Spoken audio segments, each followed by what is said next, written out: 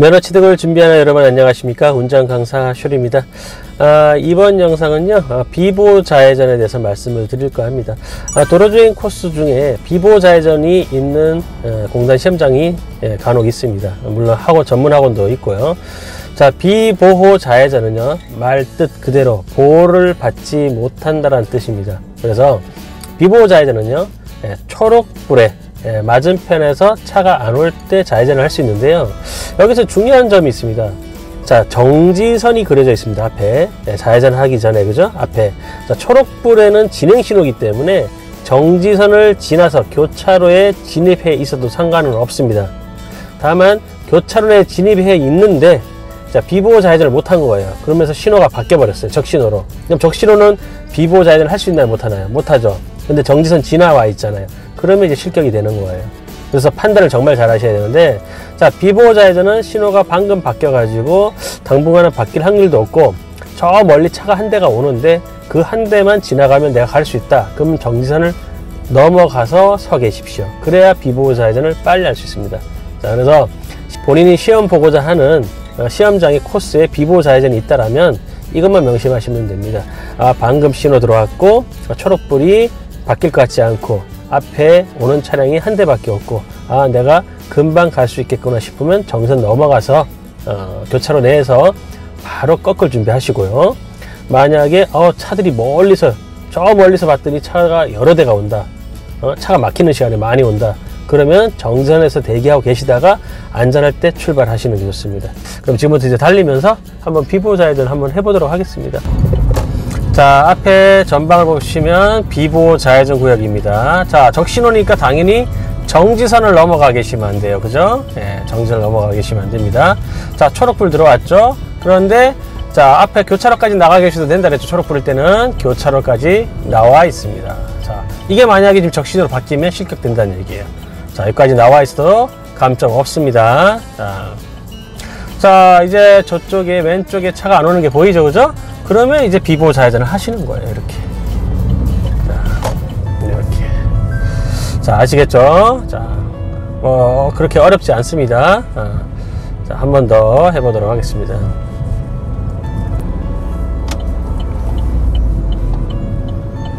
자, 전방에 보시면 저 앞에서 이제 비보를 한번 해볼 겁니다. 어,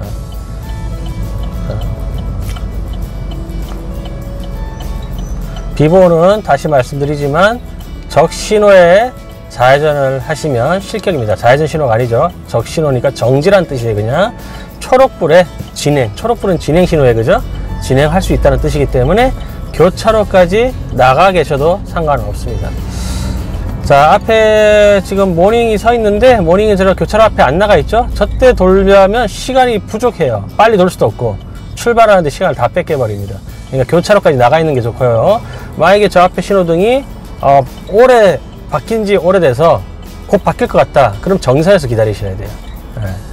괜히 교차로 진입했다가 적신호 바뀌면 실격이 되니까요. 네. 그래서 비보 좌회전을 잘하는 방법은 좀 앞으로 나가 있는 겁니다. 지금 이 차는 지금 비보 좌회전 하려는 게 아니라 제가 보기에 신호 바뀔 때가 기다리는 것 같아요. 네.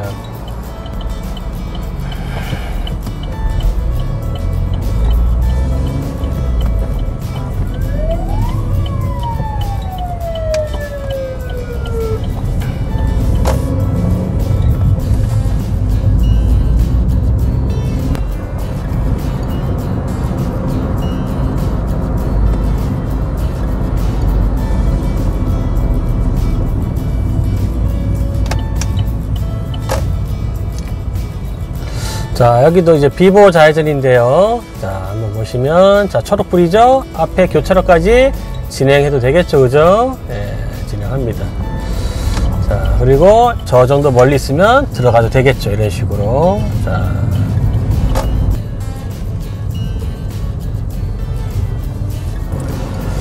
자 앞에 비보 좌회전입니다. 적신 오면 정선 넘어가면 안 됩니다. 그죠? 아, 그리고 여기는 삼색 등이 아니라 사색 등이네 그죠 그러면 초록불 들어오고 그 다음이 좌회전 들어옵니다. 그렇기 때문에 정지선을 넘어가 있어도 됩니다. 초록불 들어오면. 예. 근데 만약에 초록불 다음에 좌회전 신호가 아닌 신호면은 나가 있으면 안 되겠죠.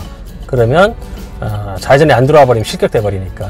예, 적신호면은 정선 앞에 쓰는 거고 초록불이면 앞에까지 나가도 됩니다. 예, 자 이렇게 앞, 앞에까지 나갑니다. 이렇게 나가도 상관없는 거예요. 예, 진행 신호기 때문에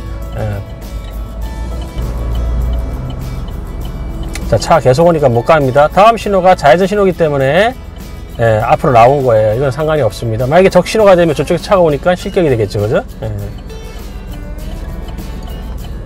신호 체계를 좀 알고 계셔야 돼요. 신호 체계를. 예.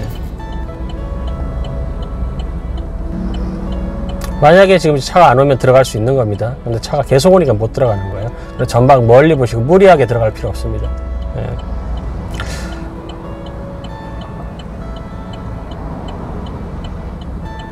자 보시면 신호 이제 바뀝니다. 좌회전. 자 바뀌었죠? 그래서 괜찮은 거예요. 예, 이렇게.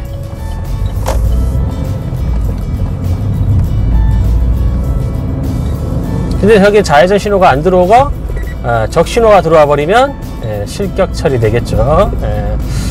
그리고 어, 이거 가지고 만약 실격시키는 분이 계신다라면 항의를 하셔야 됩니다. 실격이 되는 게 아니에요. 도로교통법에서는 초록불은 진행 신호기 때문에 교차로까지 나와 있어도 전혀 문제가 없습니다. 혹시 제가 지금 방금 정선 넘어서 교차로 앞에 미리 진입을 해 있는 게 어, 걱정이 되시면 어, 검정원한테 물어보세요. 어, 검정원 교영 시간에 어, 초록불에 초록불은 진행 신호니까 교차로 어, 정선 넘어가서 대기하고 있다가 어, 좌회전 신호가 들어오거나 아니면 초록불에 반대편에서 차가 안 오면은 좌회전을 해도 되냐고 물어보시면 예, 된다고 할 겁니다. 안 된다고 하면 안 하시면 되는 거고요.